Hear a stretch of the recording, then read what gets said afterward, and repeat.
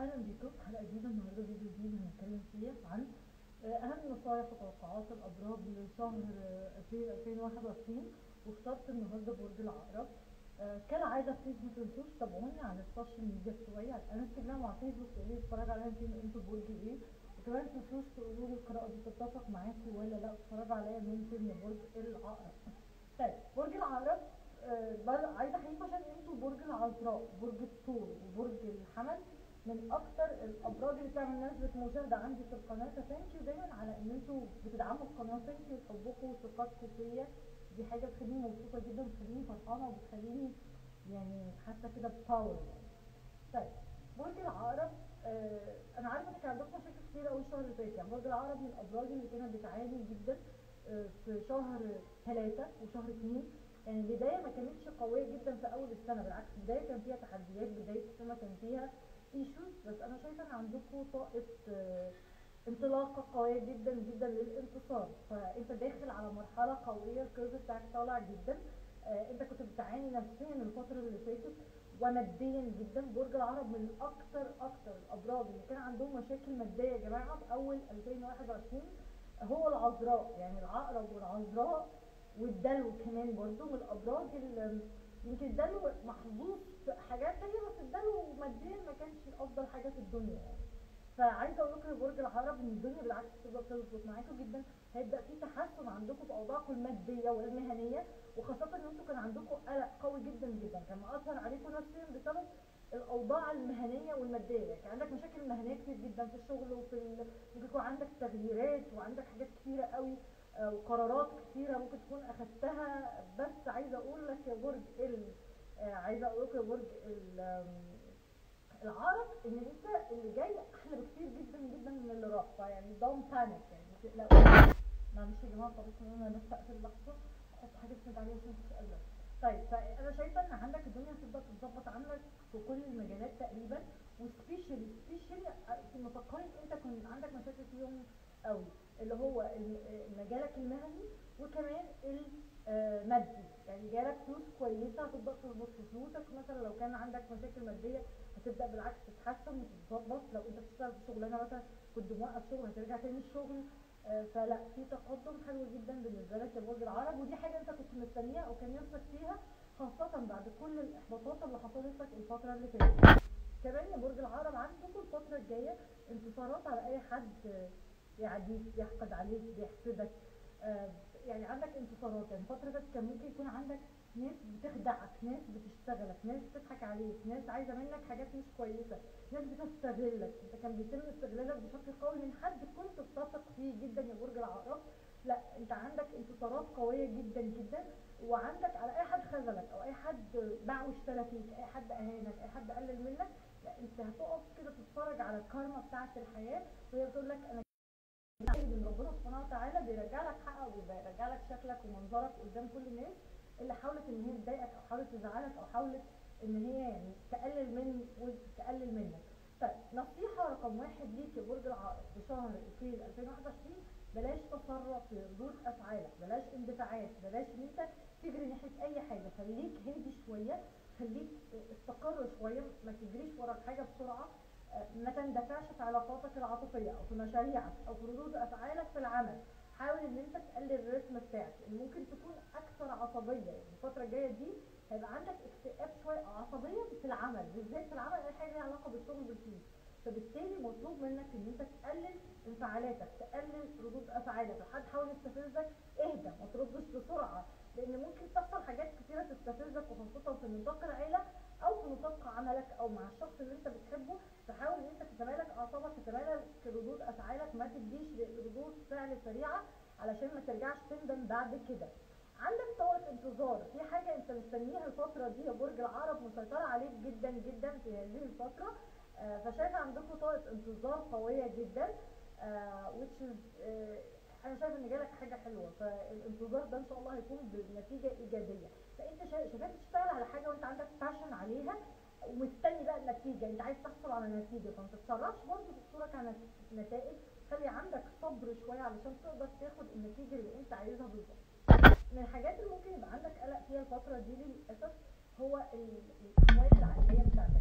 يعني عائليا ممكن يكون في شوية مشاكل كويس زعل في العيلة في ناس مخاصمة بعضها ناس متضايقة من بعضها فوضع العائلي عندك شوية فيه توتر أو شوية فيه عدم استقرار أو شوية فيه عدم يعني مشاكل.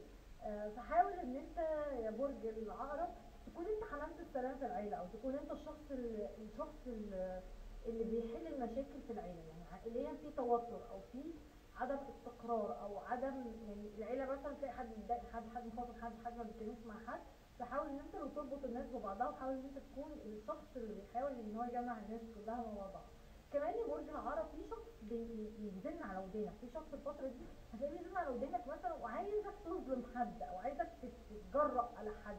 ما تكونش ودن يا برج العقرب شخص ذكي تعرف تقدر إن أنت توصل للحاجات اللي أنت عايزها فبالتالي ركز كويس جدا للشخص اللي بيزن على ودنك كتير أو شخص أعتقد إن هي ممكن تكون امرأة من برج مائي ممكن تكون عقرب زيك أو سرطان أو يعني هي شخص من برج مائي بيزن على ودنك عايز منك حاجة.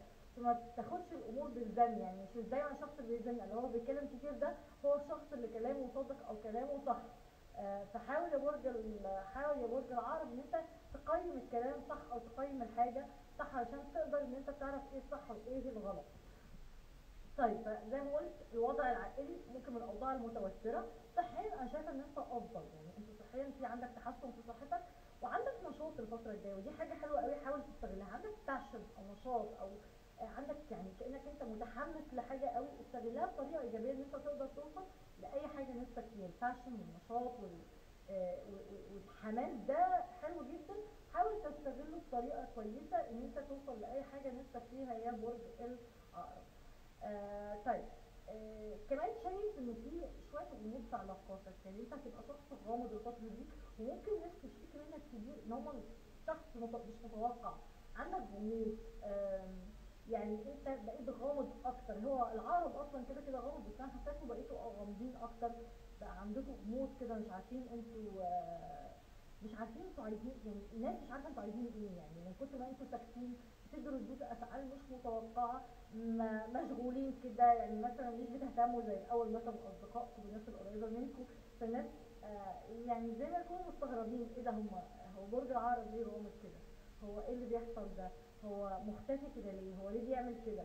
فدي برضه من الحاجات اللي لازم تاخد بالك منها يا برج العقرب آه بس أنا شايفة إن حياتك جنرال فيها توازن أكتر فيها راحة نفسية أكتر. بكتير جدا من شهر مارس ودي حاجة إيجابية في حد ذاتها. يعني شهر مارس أو شهر آه مارس كان صعب جدا بالنسبة لك كنت نفسيا داون آه فأنت لا عندك صدمة شخص. عايزاك يبقى رد فعلك عقلاني مع هذا الشخص. يعني في شخص هتكتشف إن هو كان بيستغلك بيخدعك. شخص خدعك قوي. يعني أنت كنت بتديله أمان كنت بتثق فيه. فعشان كده حاول ما تديش ثقتك لأي حد يا برج العقرب انت شكاك والصدق في حدسك أنت حدسك بنسبة قوية جدا بيطلع صح.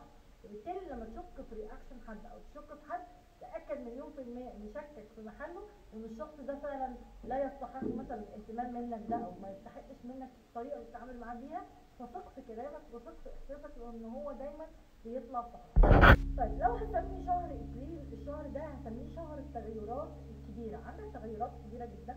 بس أنا شايفة إن هي تغيرات كبيرة سعيدة بعد فترة توتر يعني عندك نهايات وبدايات يا برج العقرب نهاية لحاجات مش كويسة لحاجات مش ظريفة وبداية لحاجات أقوى وحاجات أفضل. آه بداية قوية عندك جدا جدا يا برج العقرب فعندك نهاية وبداية جديدة. شايفاك بتخطط عندك تخطيط لحاجات كتيرة جدا في حياتك. ممكن تكون بتخطط إن أنت تغير بيتك أو تغير سكنك أو تنقل من مدينة لمدينة. يعني أنت عايز أو بتخطط لسفر أو عندك سفر. يعني آه بتنظم بتعرف مصلحتك. الفترة دي كأنك بتظبط أولوياتك بتظبط الحاجات اللي المفروض تعملها البداية الحاجات اللي تقلل فعندك تخطيط كويس جدا جدا للأسف مهنيا أو عاطفيا ممكن يكون عندك انفصال عن شخص بتحبه أو انفصال عن شخص أنت مرتبط بيه أو انفصال عن شريك في العمل. بس الانفصال ده شايفاه إن هو خير ليك ولمصلحتك يا برج العقرب إن عندك بداية جديدة أو بداية شغلانه جديدة بداية ارتباط عاطفي جديد مع شخص افضل آه فأنا شايفاك بتخطط لحاجة. عندك تخطيط كتير. بالك مشغول بتفكر كتير. العقرب أصلا من الأبراج بتفكر كتير فعندك بلان في حاجة شغلة تفكيرك مهنيا أو مشروع جديد أو خطة جديدة في العمل بتشتغل عليها أو عاطفيا مشروع بارتباط بشخص جديد أو رجوع شخص من الماضي وخاصة لو من برج ترابي. آه برج ترابي زي عذراء جدي ثور أو عندك شخص من برج ناري كمان ممكن يقرب منك الفترة دي. يبقى شخص جديد. يعني قديم هي لو هيرجع هيبقى ترابي لو جديد هيبقى ناري حمل قوس وأسد. شايفة إن هي عنيد شوية الفترة ديت؟ عنيد يعني هتبقى أكثر عندا مش بتمشي أي كلام أي حد. آه، زي ما قلت في توتر عائلي أحذر منه. آه، طيب عندك شخص جديد أو عندك طرف ثالث للأسف علاقاتك العاطفية ال... يعني انت ممكن تكون معجب بشخصين شخص جديد وشخص راجع من الماضي. آه، أو عندك شخصين في حياتك بيحاولوا يقربوا منك. شخص راجع من الماضي كان مثلا في سوء تفاهم ما بينك وما بينه بس أنا شايفة إن أنت مذبذب من ناحيته. آه، وهو كمان ممكن يكون عنده طرف ثالث ففي طرف ثالث في علاقاتك للأسف يا برج العقرب في شهر إبريل. وعندك شخص جديد أنت محتار يعني إيه مش عارف انت مستريح له ولا لا مش عارف انت كويس معاه ولا لا بس عندك حيرة ما بين شخصين شخص ليه علاقة بالماضي وشخص عليه ليه علاقة بالحاضر. كأنك انت كنت مرتبط بشخص جديد وفجأة شخص من الماضي رجعت تتكلموا مع بعض فبدا يعمل لك توتر بدأ يعمل لك ذبذبة كده ما بقتش انت فاهم إيه ده هو إزاي أنا لسه إزاي بحس بيه إزاي لسه فاكر تفاصيله إزاي لسه بفهمه وبفهم طريقته. آه، فانت حتى ممكن تكون بدأت تفكر ان انت تبعد عن حد فيهم لأن انت حاسس ان انت زي مهزوز كده خايف مش عارف إيه. بالظبط. عندك إرادة عندك عزيمة عندك تنظيم الفترة دي كأنك عارف مصلحتك مخطط. أنا شايفاك مركز قوي في شغلك. عندك باشن ناحية حاجة بتحبها بتبذل فيها مجهود؟ ممكن تكون هواية رياضة شغل مثلا آه، وظيفة جديدة. بس عندكم يا جماعة بداية جديدة حلوة قوي قوي قوي آه شايفة برضو إن أنت وشريك حياتك ممكن أو الشخص اللي أنت مرتبط بيه في عند شوية ما بينكم أو في اللي هو إيه أنت واخد موقف منه أو أنت خايف من ردود أفعاله مش مديله الأمان قوي آه فعمال بتختبره من بعيد في بعيد كده. آه بس يا برج العقرب عايزة أقول لك إن في شخص راجع لك من الماضي أو شخص جديد آه حاول تفكر مين أقرب ليك مين أكتر يعني ادي كل واحد فيهم فرصة ما آه، لأن شايفة الشخصين دول بيحبوك يعني في شخصين بيحبوك بيقربوا منك بس انت واحد فيهم مهتم بيه تتعامل معاه والتاني مش مديله فرصة. شوف الطرف اللي انت مش مديله فرصة حاول تتكلم عليه ان هو ممكن يكون آه بيحبك قوي محتاج تديله الفرصة العقرب آه كالعادة please ما تنسوش تابعوني على ال social media وعلى انستجرام وعلى فيسبوك واتفرجوا على فين وانتوا في برج إيه لو حصل نهاية في حياتكم أي حاجة بتحبوها ما تتضايقوش البدايه هتكون أفضل بكتير جدا جدا. النهايات جديدة تماما بس النهايات حلوة نهايات فيها شجاعة فيها تفوق فيها استقرار فيها سعادة بعد توتر وخاصة إن أنت عانيت في بداية عام 2021 فعايزه أقول لكم دي نهاية المعاناة آه، ماديا ومهنيا ومعنويا وعاطفيا. لا الجديد أحلى بكتير جدا. خليكم طاقتكم إيجابية يا برج العقرب بحبكم جدا جدا يا برج العقرب زي ما قلت لكم نصيحتي بلاش اندفاع بلاش تسرع بلاش عصبية. دي أكتر حاجة ما تق- ما تقفش يعني مع حد ضد حد وتظلم حد بسبب حد بيزن عليك حلو حد حد حد بيزن عليك. خلي بالكم من الحاجات اللي بقول لكم أو النقط اللي لكم دي. شكرا بحبكم. bye bye. ما تنسوش تعملوا like و share لاصحابكم من برج العقرب. محتاجين يسمعوا الكلام ده. bye bye مع السلامة.